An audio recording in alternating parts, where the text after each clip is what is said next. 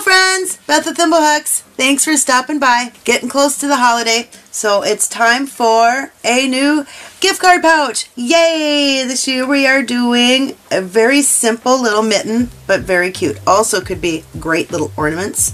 They are just so cute and they're really fast. You could do 20 of these in a day. So if you're a gift card giver, there you go. But remember last year, ugly Christmas sweater. And I think my editor can put a link to that right here. I think it would go right here. And I also did an ornament. It's a cute little Christmas ornament. All of these, again, great ornaments too for your tree or for your hearth. Very cute. I also have a stocking, but I gave all those away. And let's get started. This is a great stash buster. They have this little tiny bit of this super fuzzy stuff. I don't even remember what this is. I've had it for so long, but it's just fuzzy, very, very Christmassy to me. It's very, very wintry. And I have a little bit of my alpaca twist. And which one is this? Lavender? No, it's just called purple. Which I made my cute hat.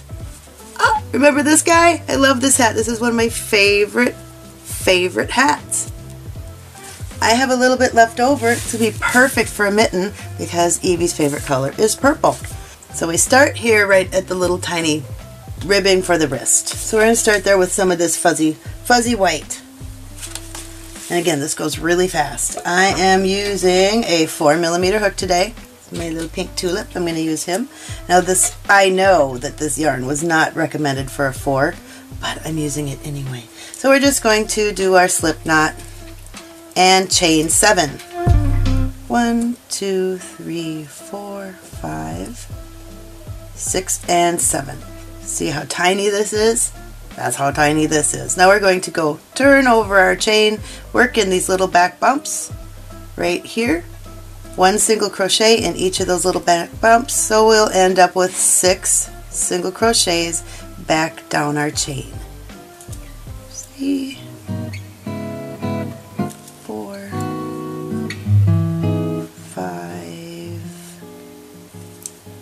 And there's my last one right here is number six. Row one, complete. Easy peasy, right? Alright, so that's the only time we're going to work in those back bumps. Now we're going to chain one and turn our work. So we're ready for the second row. So row two is the very first stitch and the very last stitch will always be a regular old single crochet all the way through. Boom. To keep the edges nice. But then all the other ones are going to be back loop only. So right here we're going to do a single crochet back loop only, not through the whole stitch like this. We're going to take this back loop and do a single crochet. And do that down to, but not including, your last stitch. In the back loop, and then here I am to my last stitch, right here. Do a single crochet go under both loops, single crochet. Boom. That was row 2. Done. Easy peasy. Row 3 through 19 are exactly the same as that, so we're going to do that one more time. Chain 1, turn our work, so we're ready for row 3. Single crochet through both under both loops for the first stitch. The next four are back loop only.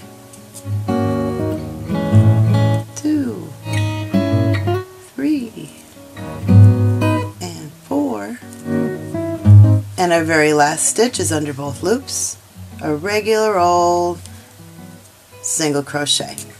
We're going to do that for rows 2 through 19 and I will meet you when I am done with my row 19. Alright, almost done. My last back loop only and my very last stitch in row 19 is a all under both loops single crochet. There we go. Now we have ribbing. It's stretchy. Just like a normal mitten except it's it's just it's just tiny. It's bite size. Just teeny. So now we'll row 20. We are going to chain one and then we're going to turn this sideways. So we're going to close this little loop and make it a cuff. So we chained one. We're going to go through our first entire stitch and through the one on the other side. Right here. So I'm under I'm through both sides so we can make this into a circle and slip stitch. So pull through and then just pull through. Now for the next four, the ones in the center, remember the first and the last one are always an entire stitch. This one is going to be under both loops of the first side and the back loop only of the other side. So you have one, two, three loops that you're going to be working through. And that again is a slip stitch. Slip stitch, do that again. Under both loops on the front side and the back loop only on the back side. And slip stitch. All the way down to your very last stitch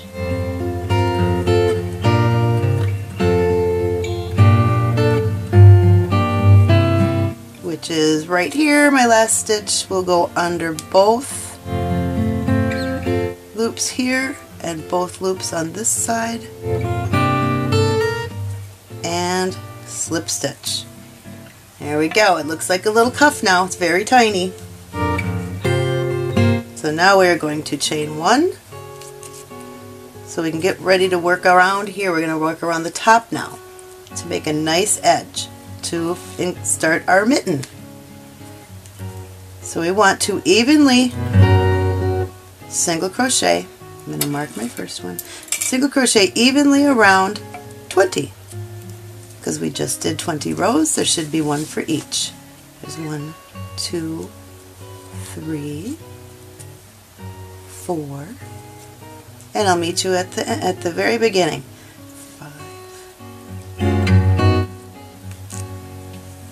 18, 19, and right here, 20. So now I have 20 nice stitches that are all even around the top so we can start the top of our mitten. So now I'm going to change colors. We can fasten this one off. I'm going to mark both sides here real quick so it's a little easier to see.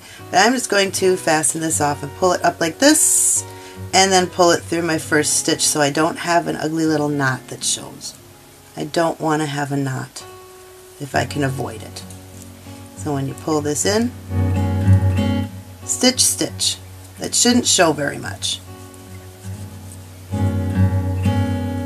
So there we go. Alrighty, now we are on to the mitten part.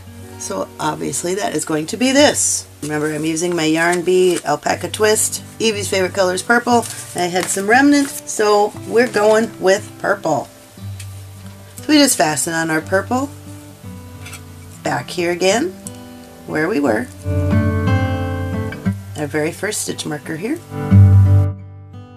This is stitch 1 and this is stitch 20 just so we can keep track. And I'm just going to fasten this on do a single crochet.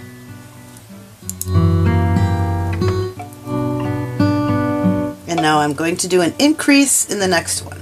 So that means two single crochets in the next stitch. Just like that. And repeat that sequence. One single crochet and in the next stitch there are two single crochets. We are increasing from 20 up to 30. So we're going to single crochet in that stitch and two single crochets in this stitch. And we're going to do that all the way around back to our other marker. And there's my last set. There's a single crochet and then in my last stitch here that's marked in orange is my increase. So there's two single crochets in that stitch which equals a total of 30 stitches now. So we just made this a little bit bigger so it can start going like this. Alright, so row two. Now I can take this guy out don't need him anymore. Remember, we just get to pull that nice and tight. Alrighty, and round two, we're going to go into our first purple stitch here without doing any kind of a chain one or anything. We're just going to single crochet. So we're working kind of in a spiral here instead of doing a slip stitch and a chain one to start a new round. We're going to just go like a spiral. So there's our first one. Round two of the mitten is really easy. One single crochet in each stitch for a total of 30 all the way around and I'll meet you back at my marker. There's number 29 and number 30. So there's our second round. We don't need to look at him right now. So there's our second round of our mitten right about, let's see this one, right about in here. Right there, the first two, two rounds. Alright, now we are going to make our thumb right here. Thumb is not later. I'm not going to make a hole and come back and go around and around and around. We're going to make our, our thumb right now. So what we want to do is in our mark stitch, single crochet, and then remark that stitch like this.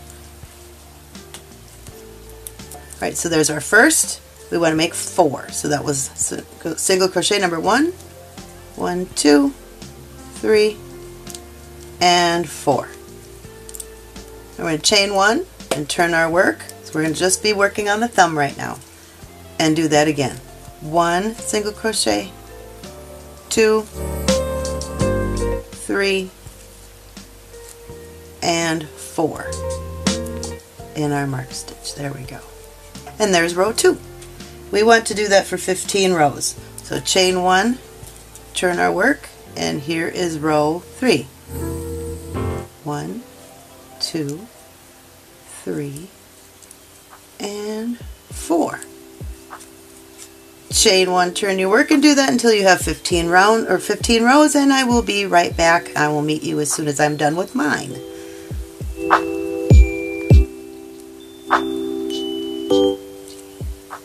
Yay, now is my last row 15. Chain one, turn my work. One, two, three, and four. there is my 15. So now you can see we have this little flap right here. This will become the thumb. So now we're just going to fold that down in our next stitch right here that hasn't been worked. We're going to do a single crochet. And I find it very helpful to mark that stitch. So we're going to mark and do 26 single crochets around. So that was number one. Do 26. There's three, there's 24, 25, and 26. Can get rid of him. Don't need that one right now. But we need 30.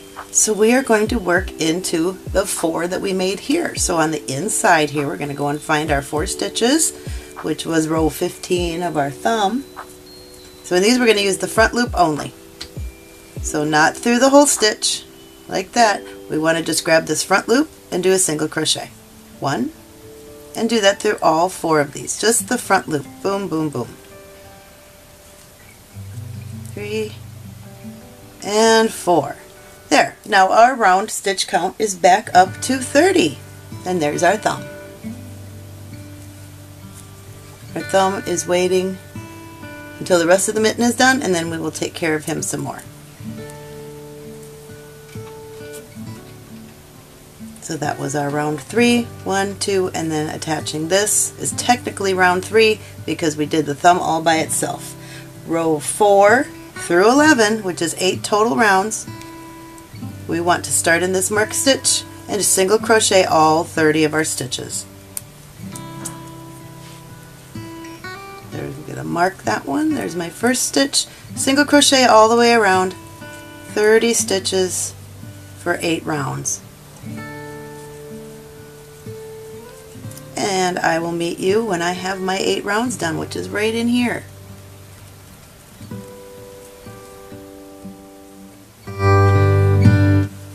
And almost done with my round 8. 29, and there's number 30.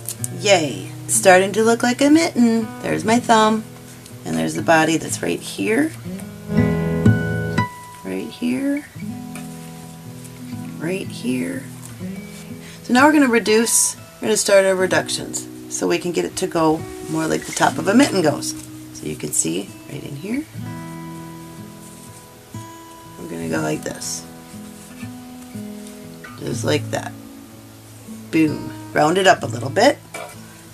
So this would be round 12.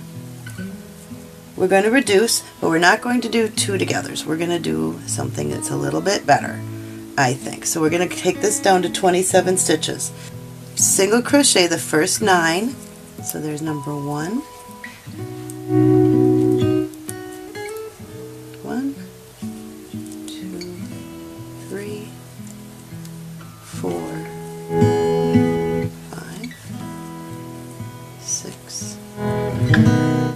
seven, eight, and nine.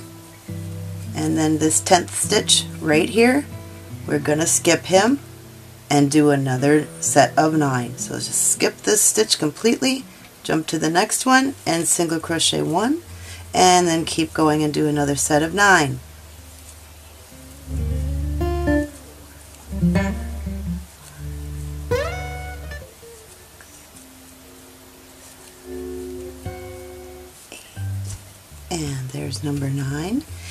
That again. This 10th stitch here is not going to get worked at all. It is going to be skipped. Jump over that and do another set of nine. One, two, three, four, five, six, seven, eight, and nine. And you can see there's still one stitch here. We will be skipping that one. So now we just reduced down to 27 by skipping those three stitches. And you can see by skipping, we don't have the little cluster from a single crochet two together. And I like that look. Because here you can see, or you can't see, my reductions. It's just magic. Just magic. So the next round, which is round 13, we're going to do the same thing again. Remember to skip this one, skip that last stitch and go right to our marked stitch and single crochet. This time we're going to reduce down to 24 from our 27 that we just reduced to. So we're going to single crochet 8 and then do a skip. So there's one, this is number 2, 3, 4, 5, six, seven, and eight. The next, that ninth stitch, right here, we're going to skip him, jump over that, and do another set of eight. One, two, four, five, six, seven, and eight skip that next stitch, just jump straight over and do another set of eight single crochets.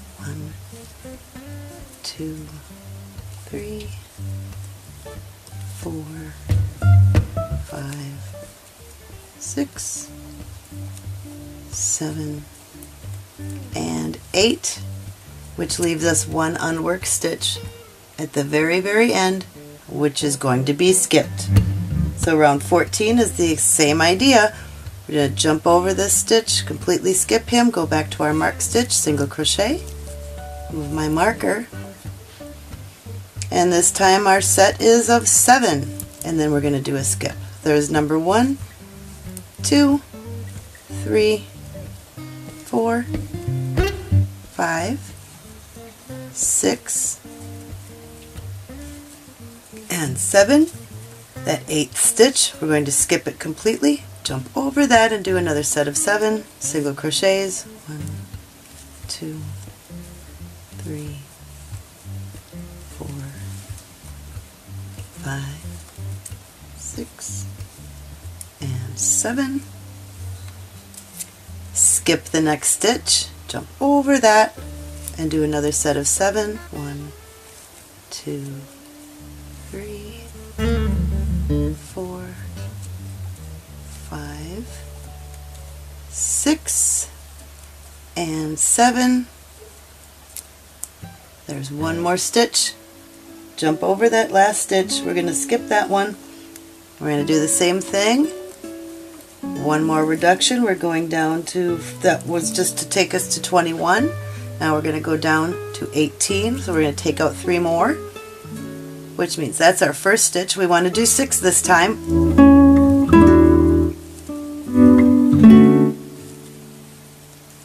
Five and six, and then we do our skip and do that all the way around. One, two,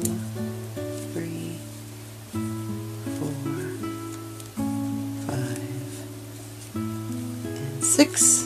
And the next one is just completely skipped. Another set of six. Single crochets. One, two, three, four, five, and six, which leaves us one unworked stitch at the very end. We're going to jump over that, go to the next stitch, our mark stitch, single crochet.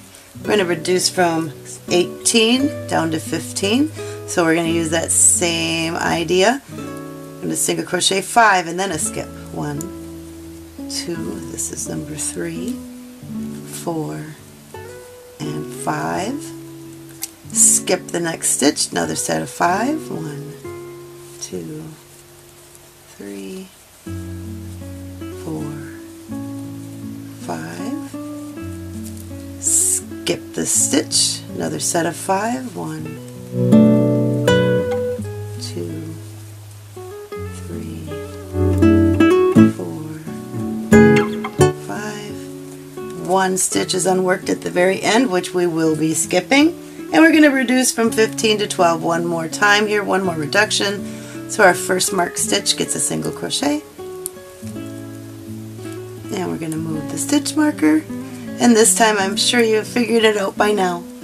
We're going to do four stitches before our skip. So there's number two, number three, number four. Skip that fifth stitch. Do another set of four. One, two, three, and four. Skip the next stitch. Do our last set of four. One, two, three, and four. One unworked stitch. So there we go. Now it looks like a mitten, except we have to close up the top and we have to close up our thumb. So we are going to skip over this last stitch here and I'm going to slip stitch into my marked stitch finish this off with a long tail.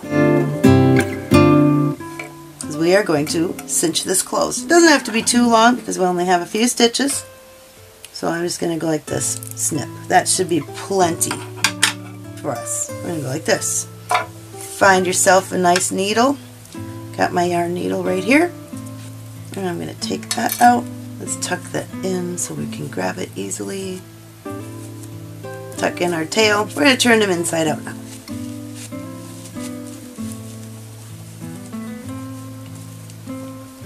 There, now we're inside out. We just have to close up this top,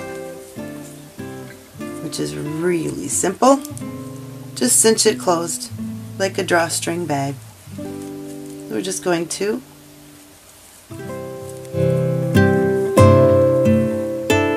go back and forth through our last stitches we can cinch this closed.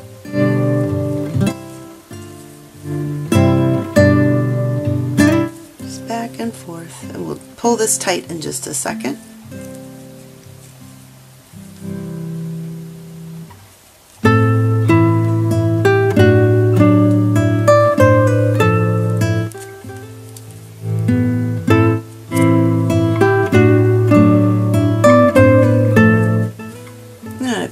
About made it all the way around so that I can pull this tight.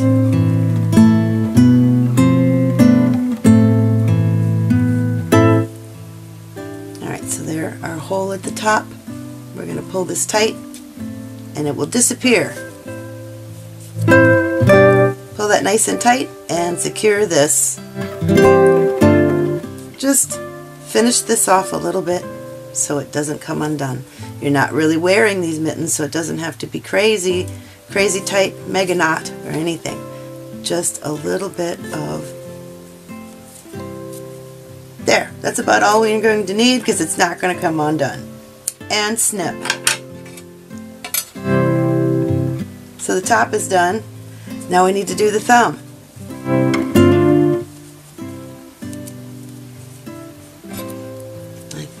Might be long enough. I'm going to give it a try. So now we just pull our thumb through, and remember we're still inside out. We just need to close this up. So start at the bottom and just sew this closed any way you want to. I have just been going back and forth like this. It seemed to work very nicely on all of the other ones. You can see, works very, very nicely. It's going back and forth like this. Do that to the top of the thumb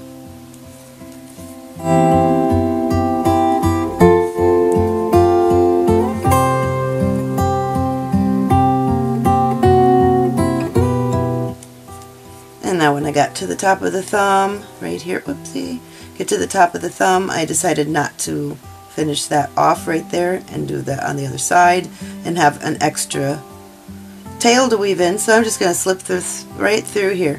Just get your needle all the way across through the top of that thumb, the very tippy top, so you don't have to finish off that little piece of yarn and pull through.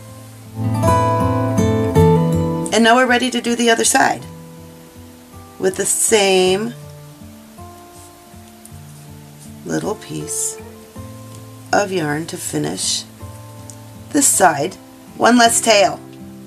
So we're going to do the exact same thing all the way down. And I think this is probably going to do it. That'll be my last stitch. And I made it.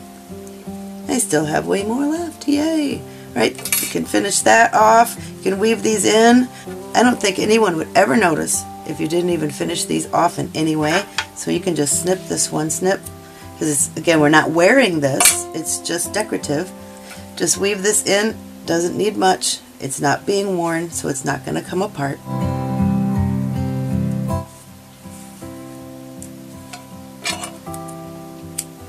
Done. And one last one. This is your very first tail. We just need to that one in a little bit. Again, nothing fancy about this because it is not going to show. It is not being worn, so it is not going to come apart.